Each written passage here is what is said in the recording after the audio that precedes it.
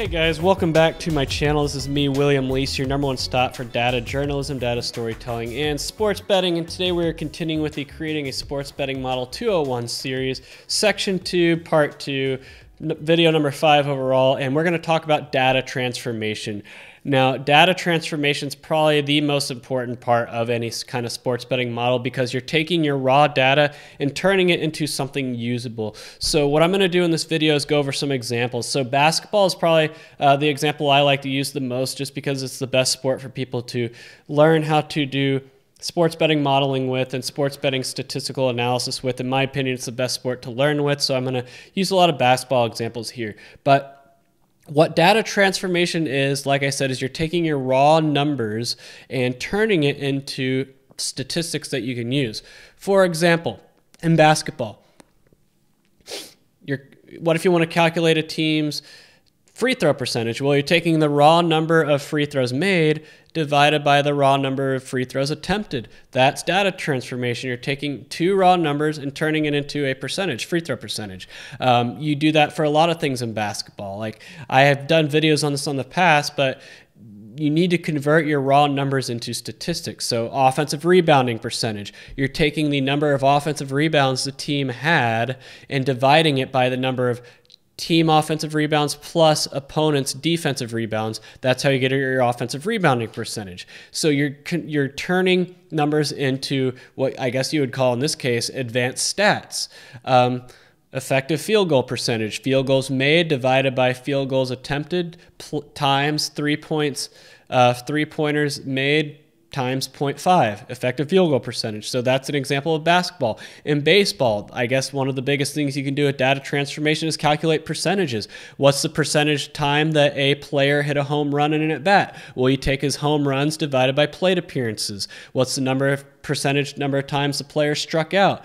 Strikeouts divided by plate appearances. What's the number of times the pitcher gave up a triple? Triples divided by uh, batters faced. That's how you do stat transformations in baseball. In football, um, success rate. Uh, that's that's a way you calculate um, advanced stat in football drive efficiency. You take the drive data and calculate drive efficiency with it. So that's how you do data transformations across all these different sports. Just find the stat you're trying to calculate, take your raw stats that you have. I hope you have a database of raw stats for whatever sport you're doing and take it from there.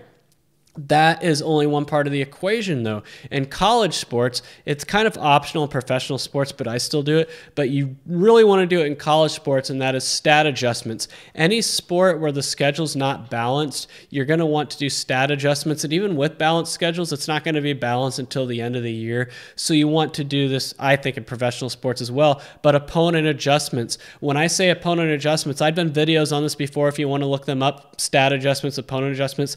But you're adjusting your each team's or player's stats according to the strengths of the opponents they have played. That way, you can ensure that the stats are on a neutral playing field. I've also called it neutralization. I think I did this in baseball, a baseball video called neutralization. You're neutralizing the stats. The aim of what you're trying to do with opponent adjustments is transform everybody's stats to what the stats would be would be if they had played a league average opponent on a neutral field every game.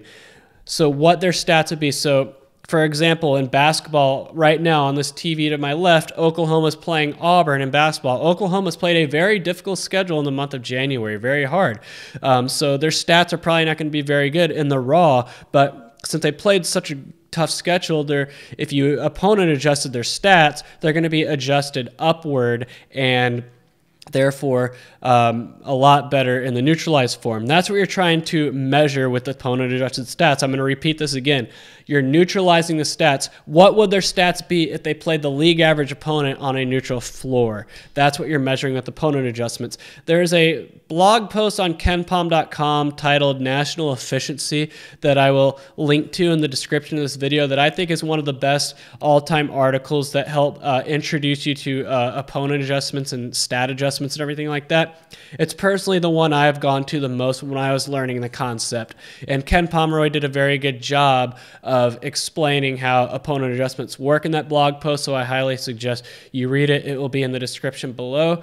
But like I said, that is what you're doing. So there's two parts to data transformation. You're taking raw stats and transforming them into I guess advanced stats and stats that you can use, and then you're adjusting those stats based on the strengths of the opponents played to neutralize those stats.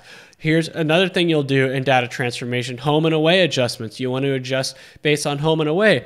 In baseball, for example, I adjust stats based on the weather. I try to take the weather out of it. So in baseball, I've touched on this on the neutralization video I made about baseball modeling, is that you're adjusting your home and away. You want to neutralize the weather. You want to neutralize the park factors and neutralize uh, up the for the opponent. So in baseball, what you're doing with opponent adjustments is if the game was played in a dome on a neut- on a neutral field in a dome with no weather, with the league average park dimensions, because you also want to neutralize the park dimensions because uh, a triple in San Francisco is a lot different than a triple in Philadelphia, for example, because San Francisco's park has the most number of triples in the majors. And I want to say Philadelphia has the least because the dimensions are so small.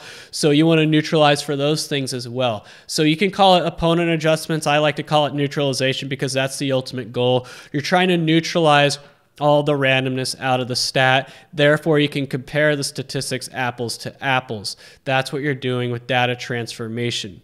You're transforming raw numbers into usable stats that can be measured, compared, forecasted, predicted, whatever you want to do. That is the whole point of data transformation in a model. It's very important. It's what you're going to spend the most time on, the most important step of the process. You can't get to predicting without doing some serious data transformation. But anyway, that wraps it up for this video on data transformation. I hope you enjoyed this video. Again, just an overview. I'm just talking. These videos are not going to be programming tutorials, anything like that. I think those days are behind me. If you want that type of stuff, it's something you would have to pay for. And I just don't know if a lot of you guys can afford my consultancy fees. So that's just how it is. But anyway, that wraps it up for this video. And the next video, we are going to talk about preseason estimates, an important video, but a necessary one. So I hope you stick around for that. But until next time, this is me, William Leiss, signing off.